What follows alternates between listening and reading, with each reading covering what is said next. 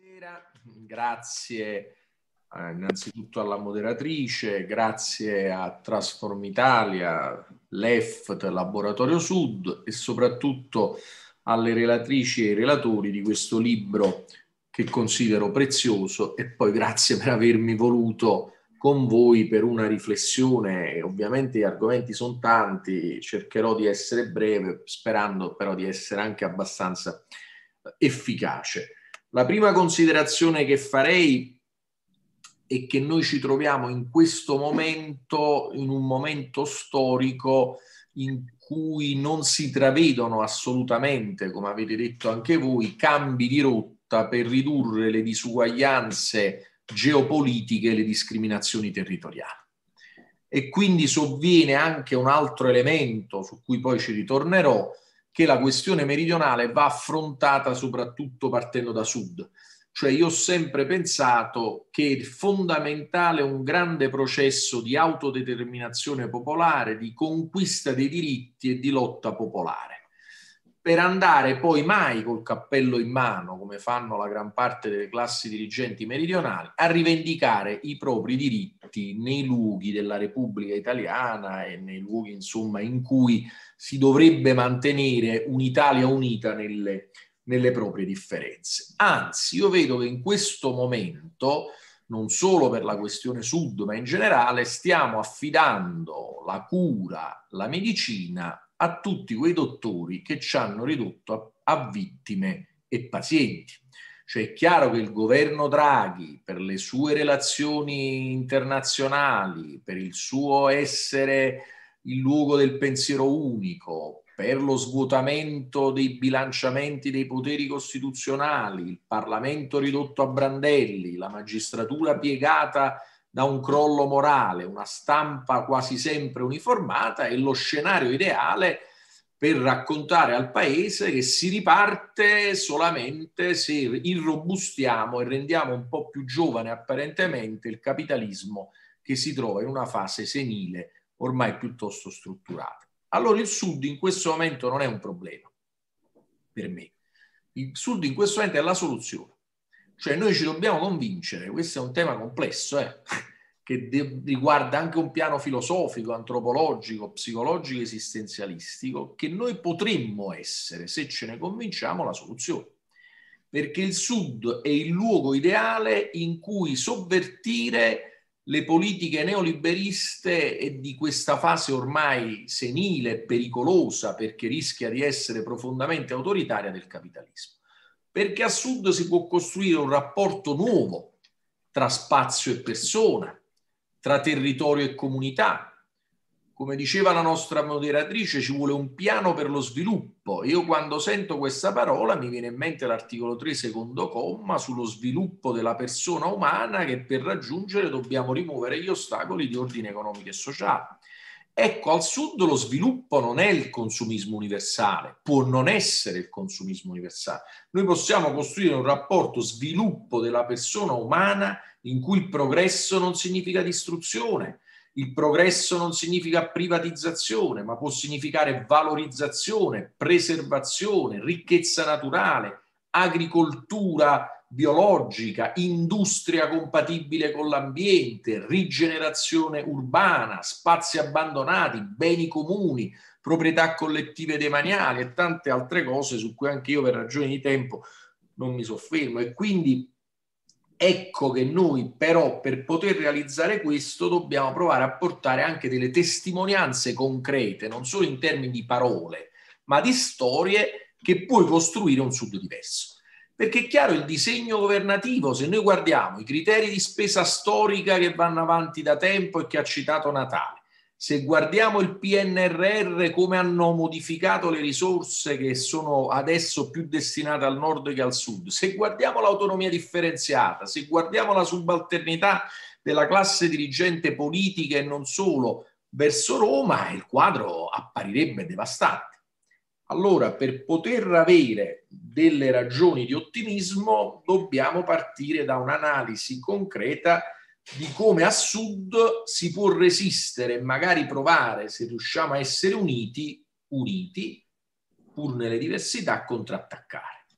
E vi porto due esperienze che non so se sono perdenti, vincenti, non lo devo dire io. Una è sicuro apparentemente perdente, che però ha anche un po' cambiato il corso della giustizia del nostro paese, lo do proprio come flash.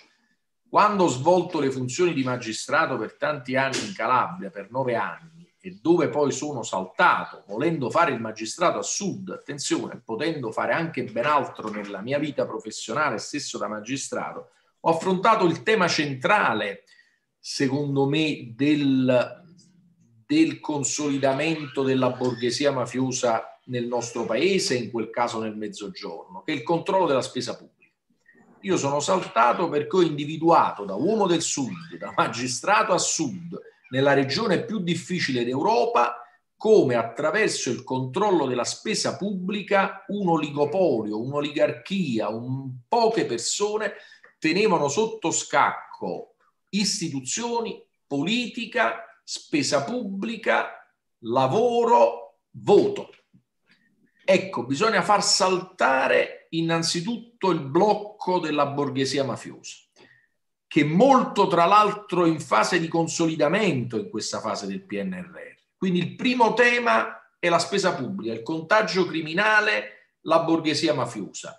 E là quindi uno potrebbe dire, beh, tu sei stato sconfitto, ma questo non è, non abbiamo il tempo per affrontarlo. Un'altra volta, quando vogliamo, il tema magistratura lo possiamo affrontare. Però è un tema importante, secondo me, per capire la questione meridionale e per capire la subalternità della classe dirigente ai poteri romani, perché a loro conviene, conviene quel filo nero che collega attraverso la spesa pubblica Bruxelles, Roma, le regioni la classe politica che collude col, con i privati, non in maniera virtuosa, perché pubblico e privato possono concorrere anche in maniera virtuosa, se il pubblico non perde la visione e la direzione, il privato può avere un ruolo importante, penso alle imprese di comunità, il terzo settore, le cooperative, il mondo agricolo, eppure qua dico velocemente, se no perderei molto tempo. Quindi la prima testimonianza è stata, secondo me, quella di dimostrare con quel lavoro qual è il cancro, qual è il blocco sociale, qual è il collasso democratico che c'è nel mezzogiorno attraverso il controllo della spesa pubblica. Mentre noi parliamo, già sono in corso trattative, salotti, stanze di compensazione, compreso nella mia città, dove si sta decidendo, eppure in Calabria è così, ma sono convinto che in tutta Italia che è così, dove si stanno decidendo in una logica piduista cioè si decidono in luoghi extra istituzionali e poi si ratificano le decisioni nelle sedi istituzionali apparentemente rispettando la legalità formale costituzionale che invece viene corrosa da atteggiamenti eversivi di tipo piduista. La seconda testimonianza, anche qui rapidamente, è da sindaco. Consentitemi di dire, al di no, no, non teniamo il tempo di fare un'analisi, però visto che Giovanni l'ha introdotta, io sono stato il sindaco più longevo della storia di Napoli dal 1806. Ho avuto all'opposizione PD, 5 Stelle, Italia Viva, Lega, Fratelli Italia e Forza Italia. È stato un governo autonomo che nonostante un debito storico ingiusto, nonostante senza soldi, nonostante gli ostacoli dei governi regionali, dei governi nazionali, la stampa contro, la camorra contro, il sistema contro, noi abbiamo dimostrato che si può resistere e finanche realizzare. Si può non privatizzare un servizio di rilevanza costituzionale e far funzionare le partecipate, si può fare l'acqua pubblica, si può valorizzare il patrimonio, si può far partecipare i giovani, si può fare la politica dei beni comuni, si può lasciare la camurra fuori dal palazzo, la si può far diventare prima città per crescita culturale, pur tra i mille difetti, quindi non sto facendo l'elogio o il paradiso di Napoli, ma sto dicendo dei titoli per far comprendere come si può da sud resistere all'amo avvelenato di dirti, eh, vedi, fai la polisi- politica isolazionistica e quindi per questo non venite aiutati. Non è vero, è una politica di autonomia e l'esperienza, Giovanni ha citato un aspetto che mi interessa molto, ma non abbiamo il tempo, di come l'esperienza napoletana dei tratti ovviamente dell'esperienza più a sinistra d'Italia, ma anche dei tratti incredibilmente tipici di una città anarchica come Napoli. E penso alle esperienze del neomunicipalismo, del fede, del, della storia di cui parlò Malatesta, anche il pensiero anarchico per certi aspetti che è passato da Napoli, delle federazioni comunitarie libertarie.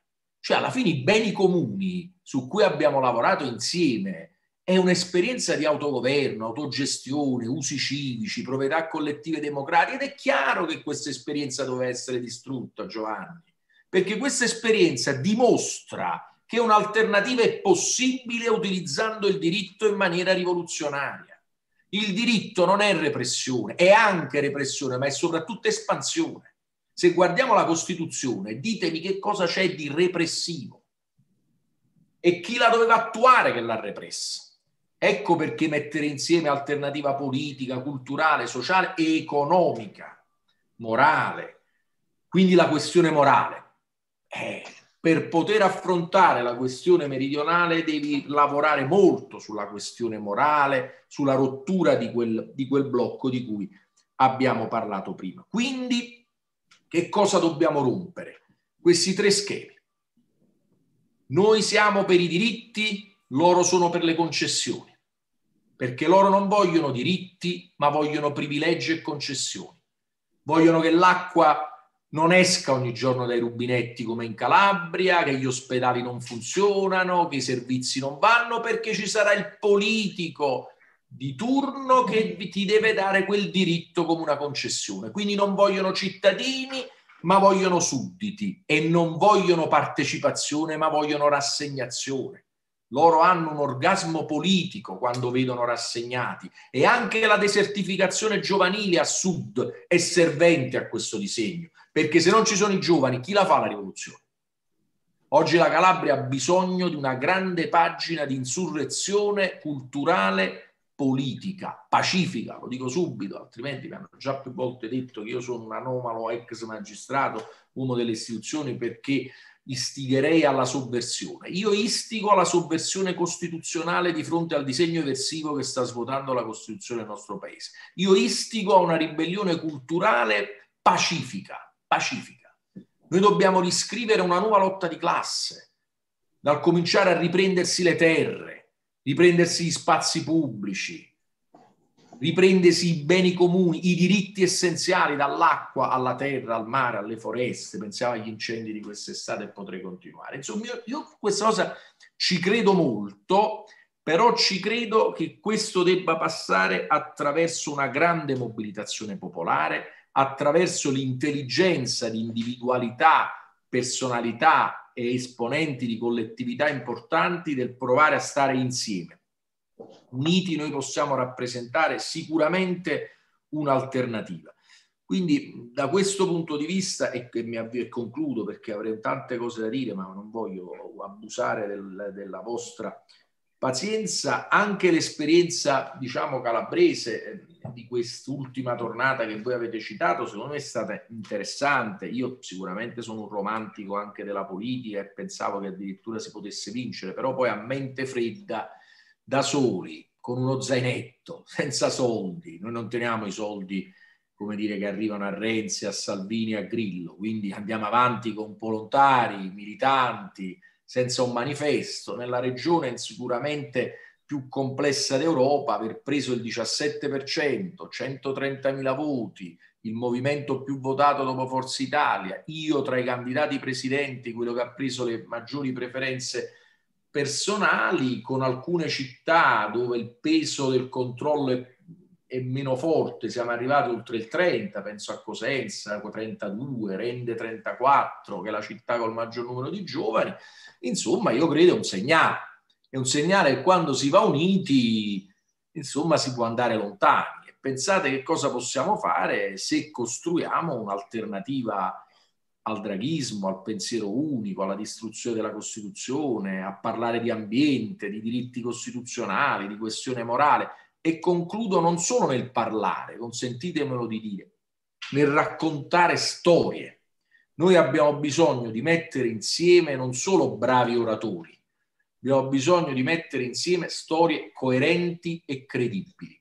Io dico sempre che se vogliamo fare la rivoluzione c'è bisogno di mettere insieme alcuni ingredienti che non si comprano al mercato, che sono l'onestà, la libertà, in un paese in cui tutto sembra avere un prezzo, quando non hai prezzo paghi un prezzo, ma non c'è prezzo a non avere prezzo. Scusatemi il giro di parole, ma libertà, autonomia, indipendenza, ovviamente la competenza per affrontare una rivoluzione di questa portata, coraggio, passione e quel pizzico di follia che non ti fa fare il calcolo mi conviene o non mi conviene. Io ci sto in questo momento mi sento di dare il mio piccolo contributo per quello che può essere la mia storia, la mia esperienza, con umiltà, ma anche con tanto entusiasmo per il nostro Sud. Io mi sento orgogliosamente innanzitutto meridionale. Ovviamente sempre grato ai miei genitori di avermi fatto vivere a Napoli. Amo la Calabria, che mi ha anche ferito profondamente come terra, tra virgolette, ma non come popolo e come regione, mi sento italiano, mi sento mediterraneo, mi sento, diciamo, come tutti, un cittadino del mondo, un clandestino del mondo. Quindi mi fa piacere, come dire, che eh, abbiamo discusso di questi temi così importanti. Ho trovato molto validi tutti i contributi che avete messo in questo libro, diversificati, di tanti amici anche che conosco. Io penso che l'Italia e il Sud hanno le intelligenze e le personalità in grado di poter affrontare a testa alta con orgoglio questa, questa lotta. E poi, come ci ha insegnato a noi tutti Che Guevara, chi non lotta ha già perso, chi lotta può vincere. Io, siccome nella mia stanza di sindaco, consentitemi, questo forse è una cosa politicamente non corretta, io tenevo sei Che Guevara e un presidente della Repubblica, ma era semplicemente perché ognuno di noi poi è cresciuto anche con dei miti quando era ragazzo. A me Che Guevara mi è sempre piaciuto molto e mi ha insegnato molto. Oggi è il momento di lottare con romanticismo ma anche con concretezza e con realtà. Ci vuole il romanticismo della passione senza fare troppi calcoli, ma dobbiamo organizzarci meglio rispetto ad alcune sfide che abbiamo certe volte messo in campo insieme. Forse il nostro limite, e chiudo, è stato proprio quello di non riuscirci sempre ad organizzare al meglio. Oggi ci tocca organizzazione, contenuti e passione. E di questo vi ringrazio perché io lotterò sempre da sud questo forse è un mio limite, ma la mia lotta sarà sempre da sud in una visione mediterranea. Penso che realmente oggi, partendo e dopo aver attraversato anche una serie di altri incontri, noi eh, del Laboratorio del Sud ci dobbiamo sentire il dovere e quindi ci dobbiamo impegnare anche per le cose, i concetti no? introdotti eh, da Luigi De Magistris poc'anzi, alla costruzione di un'assemblea meridionale. Un'assemblea meridionale che mette insieme il sud del riscatto contro la narrazione che prima un po' tutti abbiamo ripreso, che sta tutta dentro l'artificio di questo capitalismo che eh, Luigi definiva eh, senile, ma che purtroppo sta là e sta svolgendo ancora un movimento rivoluzionario attorno a sé che stravolgerà ancora di più eh, quella che è la società eh, del, del, futuro. E quindi io sono d'accordo con Luigi De Magistris quando parla di eh, una lotta, di una nuova eh, una nuova lotta di classe che si articola all'interno di un nuovo mercato del lavoro e che è uno degli elementi per i quali bisogna assolutamente agire insieme alla questione dell'ambiente, insieme alla questione anche femminile che attraversa il mezzogiorno.